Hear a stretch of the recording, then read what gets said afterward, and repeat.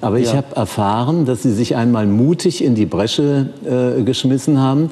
Sie haben sich ein Tattoo machen lassen, Ja. damit ein Mädchen sich das nicht machen lässt. Genau, Was ja. ist das bitte für eine Geschichte? Die Geschichte ist, und zwar war das mit meiner ehemaligen Freundin, ist schon ein paar Jahre her, muss ich sagen. Und zwar hat sie mich in New York besucht. Und sie wollte sich unbedingt ein Tattoo stechen lassen. Ich mag das ja bei Frauen nicht so. Ähm, wieso? Geschmackssache.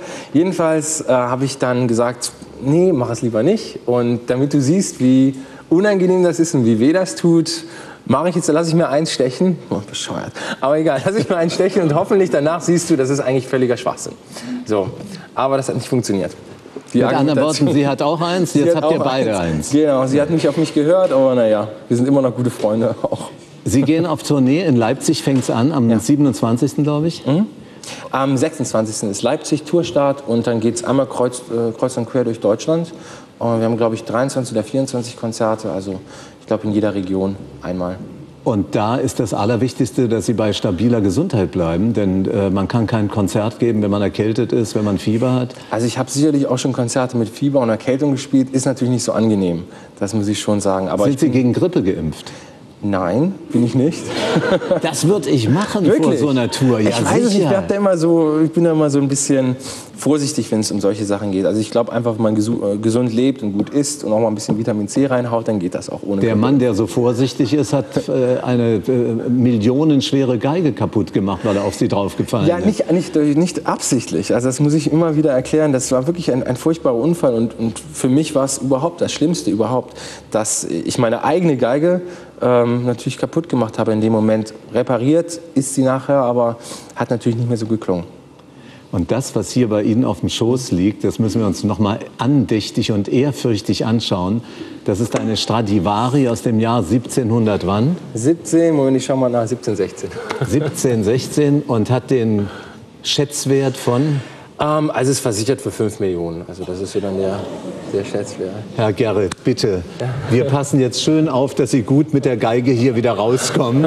Ich drücke Ihnen für die Tournee alles, alles Gute. Vielen, vielen Und für herzlichen Ihr Dank. Album Platz 1 sind Sie schon. Jetzt gilt es nur noch, den Platz 1 zu verteidigen. Absolut, da arbeiten wir dran. Und was spielen Sie uns zum Schluss? Ähm, ich würde gerne was vom Album spielen, aber Ja? das dürfen Sie sich aussuchen.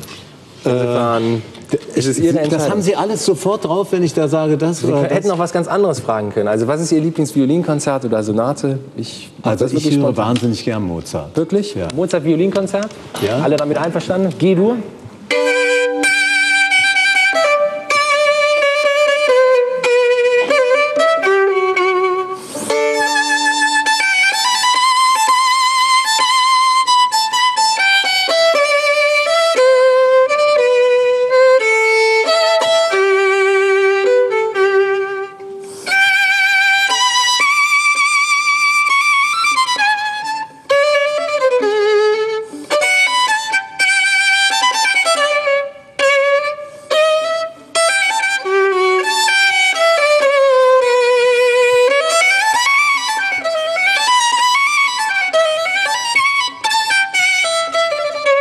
Ist natürlich ein bisschen schöner mit Orchester. Und jetzt zum Schluss, ganz zum Schluss, Ihren Lieblingstitel von Ihrem Album. Lieblingstitel vom Album, muss ich ganz ehrlich sagen, ähm, ein bisschen ungewöhnlicher Titel und zwar äh, von Metallica, Master of Puppets. Aber es ist ein unglaublich virtuoses Stück auf der Gitarre und ich glaube, auf der Geige ist es nicht einfacher.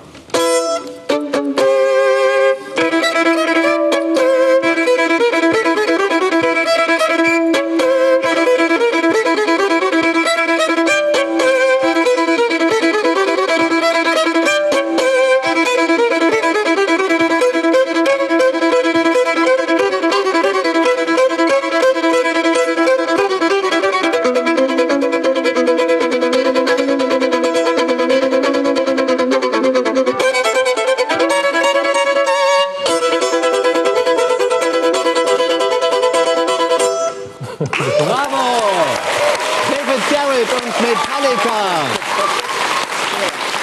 Und jetzt schreien sogar die 60-Jährigen. Vielen herzlichen Dank. Alles Gute für die Tour.